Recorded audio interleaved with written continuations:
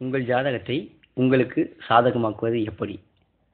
பதிவுக்குள்ளே போகிறதுக்கு முன்னாடி உங்கள் அனைவருக்கும் எனது இனிய தமிழர் புத்தாண்டு நல்வாழ்த்துக்கள். இன்றைய கணக்குப்படி நமக்கு நூற்றி ஒரு பயனாளர்கள் இருக்காங்க. அவங்களுக்கு இந்த நேரத்தில் நான் நன்றி சொல்ல கடமைப்பட்டிருக்கேன். நமது பயனாளர்களுக்கு எனது நன்றி. உங்கள் ஜாதகம் சரியில்லைன்னு யாராவது உங்களுக்கு சொல்லியிருந்தாலோ அல்லது உங்கள் ஜாதகம் நல்லா இல்லைன்னு நீங்கள் நினச்சிக்கிட்டு இருந்தாலும் இந்த பதிவை கண்டிப்பாக கேளுங்க. உங்களோட வாழ்க்கையை கண்டிப்பாக இது மாற்றும். நான் சொல்கிற விவரங்கள் வந்து உங்களால் தொடர்ந்து கேட்க முடியல. அது ஏற்றுக்க முடியாத மாதிரி இருக்குது அப்படின்னா இதுக்கு முன்னாடி என்னோட பதிவு லிங்கம் பற்றின ஒரு பதிவு ஒன்று இருக்குது இன்னொன்று வந்து நினைப்பதெல்லாம் நடக்கும் அப்படிங்கிற பதிவு இருக்குது இது ரெண்டையுமே கண்டிப்பாக கேளுங்க. அப்படி இல்லைன்னா சீக்ரெட் ரகசியம் பற்றின பதிவுகள் வந்து யூடியூப்லேயே இருக்கும். அந்த ரோண்டா ஃபைன் அப்படிங்கிறவங்க எழுதின அந்த சீக்ரெட் புக்கு வந்து கிடச்சா கண்டிப்பாக படிங்க. அது வந்து ரகசியம்னு தமிழில் வந்திருக்கு. இந்த புத்தகத்தை நீங்கள் படிச்சிங்கன்னா என்னோட பதிவு இந்த ஜாதகத்தை சாதகமாக மாற்றுறது இதெல்லாம் வந்து அதில் ஒரு சின்ன பார்ட்டு தான். இது வந்து இதெல்லாம் நீங்கள் ஸ்டெப் பை ஸ்டெப்பாக புரிஞ்சுக்கிட்டீங்கன்னா அந்த சீக்ரெட் புக்கு வந்து ரொம்ப ஈஸியாக பிடிபடும்.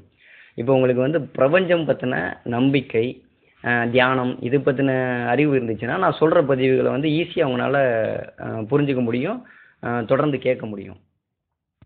அது அப்படிங்கிற அந்த நம்பிக்கை வந்து எனக்கு எந்த இடத்துல வந்துச்சு அப்படின்னா எங்கள் ஊர்லேருந்து பக்கத்தில் கொஞ்சம் தூரத்தில் வந்து தாண்டீஸ்வரம் அப்படின்னு சொல்லிட்டு ஒரு இடம் இருக்குது அது வந்து ஒரு ஜீவசமாதி சத்குரு சுவாமிகளோட ஜீவசமாதி உள்ள இடம். அவரோட பாயிண்ட் என்னன்னா எண்ணங்கள் அழகானால் எல்லாமும் அழகாகும். இவருக்கு வந்து ஏழரை சனி நடக்கும்போது அவர் குடும்பத்தை விட்டு வெளில வந்துடுறாரு. வெளில வந்து ஒரு மரத்தடி அது வந்து பட்டுப்போன மரம். அந்த மரத்தை ரெண்டாக ரெண்டையும் சேர்த்துட்டு நடுவில் ஒரு ஓட்டை இருக்கும் பார்த்தீங்களா அதில் ஒரு சின்ன ஷேடோ இருக்குது அதுக்குள்ளே வந்து தியானம் பண்ண உட்காந்துடுறாரு ஆனால் அந்த மரம் வந்து வளர்ந்து ரெண்டும் சேர்ந்து அதாவது பட்டை மரம் வந்து வளர்ந்து ஒரு பெரிய விருட்சமாக வந்துருச்சு. இப்போ நாம் இந்த பகுதியில் இருக்கிறவங்க எல்லாருமே வந்து அவரை வந்து தெய்வமாக சாமியாக பார்க்க ஆரம்பித்து கும்பிட ஆரம்பிச்சிடுறாங்க. இப்போது இங்கே உள்ளவங்களுக்கு நம்பிக்கை என்ன இருக்குது அப்படின்னா இந்த மரத்துக்கு அடியில் ஒவ்வொரு பௌர்ணமியும் போய் நீங்கள் தியானம் செய்யும்போது உங்களோட ஜாதகம் வந்து வேலை செய்யாது. அதாவது கெட்ட ஜாதகமாக இருந்தால் நல்ல ஜாதகமாக இருந்தால் அங்கே போக வேண்டிய அவசியம் இருக்காது. உங்கள் ஜாதகம் வந்து சரியில்லை இந்த இந்த ஜென்மமே இப்படி தான் அப்படின்லாம் சொல்லியிருந்தாங்கன்னா அது வேலை செய்யாது அப்படின்னு சொன்னாங்க. இது இங்கே மட்டும் கிடையாது எல்லா ஜீவ சமாதிக்கும் ஒருத்தன் ஜாதகம் சரியில்லாதவன் போனான்னா அவனுக்கு வந்து ஜாதகம் வேலை செய்யாது. அதாவது கிரகங்கள் வந்து ஜீவ சமாதிகளில் வேலை செய்யாதுங்கிற மாதிரி சொல்கிறாங்க அப்போது ஜாதகத்தை வந்து சிலர்னால் வந்து கட்டுப்படுத்த முடியுது. பதிவில் சொல்கிற விஷயங்கள் வந்து உங்களுக்கு புரிஞ்சிருச்சு அப்படின்னா உங்களாலையும் உங்கள் ஜாதகத்தை கட்டுப்படுத்த முடியும். ஜாதகம் வந்து பிறக்கிற நேரத்தை வச்சு தான் கணிக்கிறாங்க. அந்த பிறக்கிற நேரம் அப்படிங்கிறது என்னென்னா கிரகங்களோட அமைப்பு எப்படி இருக்கோ அப்போ அப்படி தான் வந்து உங்களோட ஜாதகம் வந்து அந்த ஜென்ம பலன்கிறது இருக்கும். நீங்கள் எப்படி இருப்பீங்க? உங்களோட உடல்வாக்கு எப்படி இருக்கும்? உங்களோட எண்ணங்கள் எப்படி இருக்கும்? உங்களுக்கு எது பிடிக்கும்? நீங்கள் எந்த வேலை செய்வீங்க? அப்படிங்கிறது வந்து அந்த ஜென்ம பலனில் ஜென்ம லக்னத்தை வச்சு வர்ற விஷயத்தில் வந்துடும் இந்த ரெண்டாவது வந்து கோச்சார பலன் அப்படின்னு சொல்லுவாங்க. இந்த கோச்சார பலன்கிறது என்னென்னா நீங்கள் பிறந்த நேரம் இல்லாமல் அந்த கிரகங்கள் மாறுபடுது பார்த்தீங்களா இப்போ சந்திரன் வந்து அப்படியே சந்திரன் வந்து டெய்லி மாறும். வேறு வேற வேற கட்டம் போயிட்டே இருக்கும்.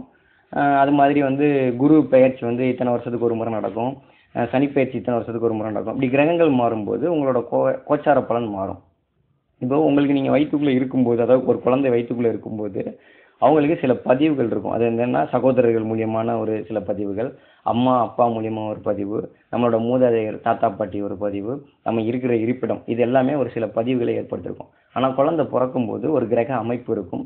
அந்த குழந்தைய சுற்றி சிலர் இருப்பாங்க. இவங்களோட பதிவுகள் வந்து அந்த குழந்தை அதுதான் வந்து தலையெழுத்தும்பாங்க. அந்த குழந்தை எப்போ அம்மாவோட மடியிலேருந்து வெளியில் வரும்போது கண்ணு காது ரெண்டுமே வெளியில் வராத அந்த நிலை. அதைத்தான் நான் வந்து சிவலிங்கம் அப்படின்னு சொல்லி நான் சொல்லியிருப்பேன். இந்த நேரத்தில் உங்களுக்கு உங்கள் மூளையில் பதியக்கூடிய அந்த பதிவு தான் இப்போ நீங்கள் வந்து ஒரு ஹார்ட்வேர் அப்படின்னா பிரெயினில் எழுதக்கூடிய ப்ரோக்ராம் வந்து இந்த மற்ற கிரகங்கள்னாலையும் அந்த நேரம் உங்களை சுற்றி இருக்கிறவங்களாலையுமே வந்து அமைக்கப்படுது. இதைத்தான் வந்து நம்ம வந்து ஜாதகம் அப்படின்னு பார்க்குறோம். இதில் வந்து ஃபஸ்ட்டு இப்போ நீங்கள் வந்து ஒரு மகர லக்னம் அப்படின்னா அந்த மகர லக்னத்துக்கான எண்ண ஓட்டங்கள் உடல் அமைப்பு எல்லாமே வந்து உங்களுக்கு சொல்லியிருப்பாங்க. இது வந்து உங்களை பற்றி சொல்லும். ரெண்டாவது வந்து உங்களோட குடும்பம் செல்வம். நீங்கள் வந்து என்ன வசதியான வீட்டில் பிறந்திருக்கீங்களா? இல்லை வந்து ஒரு ஏழ்மையான குடும்பத்தில் பிறந்திருக்கீங்களா? அப்படிங்கிறது. இப்போது நீங்கள் யாரை கவர்ந்து ஏழ்மையான குடும்பங்கள் உங்களை கவர்ந்து இழுத்துருந்தா நீங்கள் அங்கே வந்து பிறந்திருப்பீங்க. அல்லது வந்து நீங்கள் பிறந்த இடம் வந்து ஏழ்மையாக இருக்கணும் அப்படிங்கிற மாதிரி அமைப்பு இருந்துச்சுன்னா இருப்பீங்க. மூணாவது வந்து இளைய சகோதரர்கள் அப்படின்னு சொல்லுவாங்க. இளைய சகோதரர் வந்து உங்களுக்கு வந்து தைரியத்தை தர்றாரா? இல்லை வந்து தைரியம் இல்லாதது இருக்கா? அப்படிங்கிறது அவரோட எண்ணம். இப்போ நீங்கள் எல்லாத்துக்குமே இப்போ நான் வந்து தாய் நாலாவது ஸ்தானம் வந்து தாய் அப்படின்னு சொன்னேன்னா தாய் வந்து உங்களுக்கு என்ன மாதிரியான பாதிப்பை தருவாங்க? தாய் வந்து என்ன மாதிரியான குழந்தையா நீங்கள் பிறக்கணும்னு நினச்சிக்கிட்டு இருந்தாங்க? இது எல்லாத்தையுமே அதை டிபெண்ட் பண்ணாது அஞ்சாவது வந்து குழந்தை. உங்களோட குழந்தை எப்படி இருக்கும்? உங்களோட முன்னோர்கள் எப்படி இருந்தாங்க? அவங்களோட எண்ணங்கள் எப்படி இருந்துச்சு? இப்போ உங்களுக்கு பிறக்க போகிற குழந்தையோட எண்ணங்கள் எப்படி இருக்கும்? அப்படிங்கிறத டிசைட் பண்ணுறது அந்த அஞ்சு. ஆறு வந்து அவங்களோட எதிரிகள். எதிரிகள் வந்து எப்படி இருப்பாங்க? இல்லை எந்த மாதிரியான எதிரிகளை நீங்கள் சம்பாதிப்பீங்க? அப்படிங்கிறது. எட் ஏழு வந்து மனைவி அது வந்து அதே தான் கூட்டாளிகள். உங்களோட நண்பர்கள் எப்படி இருப்பாங்க? உங்களோட மனைவி. எட்டு ஆயுள் ஒன்பது தந்தை பத்து தொழில் பதினொன்று மூத்த சகோதரன் பன்னெண்டு வந்து நீங்கள் செலவு செய்கிற திறன். இப்படி வந்து ஒவ்வொரு இடத்துலையும் வந்து நீங்கள் என்ன பண்ணுவீங்க ஏது அப்படின்ட்டு இப்போது இந்த விஷயங்கள் வந்து உங்களோட எண்ணங்களை ஒத்து போயிடுச்சு அப்படின்னா நீங்கள் யோக ஜாதகம். கவலையே இல்லை. இப்போ வந்து தம்பியும் வந்து உங்களுக்கு ஹெல்ப் பண்ணுவார். அம்மாவும் வந்து நீங்கள் டாக்டர் ஆகணும்னு நினச்சிருப்பாங்க. உங்களுக்கும் என்ன வந்து டாக்டர் ஆகணும்னு இருக்கும். உங்களோட தொழிற்சானமும் டாக்டராக இருக்கும். நீங்கள் தாங்க யோக ஜாதகம். ஆனால் இது ஒன்றுக்கு ஒன்று முரண்பட்டு அமைஞ்சிருச்சு அப்படின்னா உங்களோட ஜாதகம் சரியில்லைன்னு அர்த்தம். நல்ல உச்ச ஜாதகமாக இருக்கிறவங்க வந்து இதை தொடர்ந்து கேட்டிருக்க மாட்டாங்க. அதே நேரத்தில் வந்து ரொம்ப அடிமட்டத்தில் ஒரு ஜாதக அமைப்பு இருக்கிறவங்களுக்கும் இந்த பதிவு வந்து போய் சேர்ந்துருக்கவே சேர்ந்துருக்காது. நடுத்தரமான ஜாதகர்கள். நம்ம ஜாதகம் வந்து நல்லா இல்லை. ஆனால் வந்து நம்ம முன்னேறியே ஆகணும் அப்படிங்கிற எண்ணம் ஆர்வம் உள்ளவங்களுக்கு தான் இந்த பதிவை இப்போ நீங்கள் தொடர்ந்து கேட்டுக்கிட்டு இருப்பீங்க. உங்களோட எண்ணம் தான் இது போன்ற ஒரு பதிவு வந்து போடுறதுக்கு காரணமாகவே ஒரு காரணியாகவே அமைஞ்சிருக்கும். ஒரு ஜாதகத்தை நீங்கள் போய் கேட்டிங்கன்னா கூட அவர் என்ன சொல்லுவார் அப்படின்னா இது அண்ணன் வந்து இப்படி வேலை பார்த்துட்டு இருப்பார். அப்பா இந்த தொழிலில் இருப்பார்.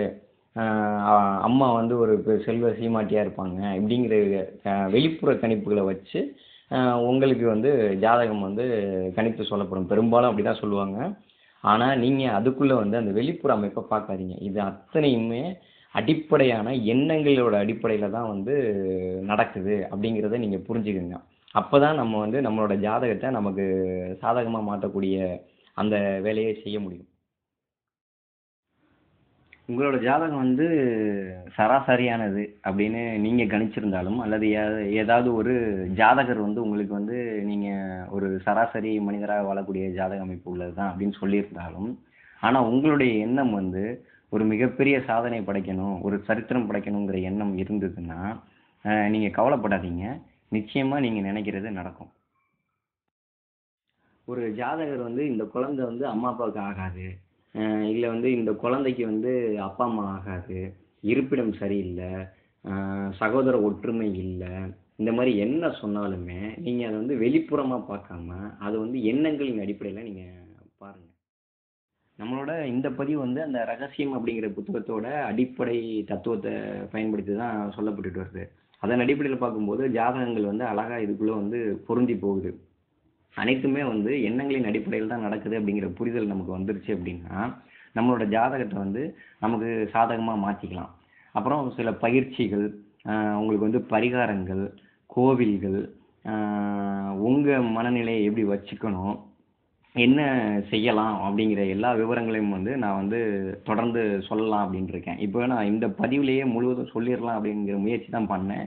இதுவே வந்து ரொம்ப நீளமாக போயிடுச்சு இந்த முதல் பாகத்தில் வந்து நான் உங்களுக்கு வந்து என்ன சொல்லிக்கிறேன் அப்படின்னா இதில் அனைத்தும் எண்ணங்களின் அடிப்படையில் நீங்கள் பார்க்கும்போது உங்களோட ஜாதகத்தை உங்களுக்கு சாதகமாக மாற்றிக்க முடியும் அப்படிங்கிற ஒரு அடிப்படை விஷயத்த சொல்லிட்டு என்னோட அடுத்த பதிவில் வந்து இன்னும் தெளிவாக வந்து என்னென்னலாம் செஞ்சேன் அப்படிங்கிறத நான் சொல்லலாம்னு முடிவு பண்ணியிருக்கேன்.